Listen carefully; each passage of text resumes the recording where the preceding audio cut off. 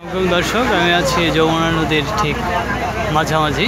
এখানে সিরাজগঞ্জ এবং টাঙ্গাইলের সংযুক্ত করেছে যমুনা সেতুর ওপর থেকে ভিডিওটি করছি। যমুনা নদী।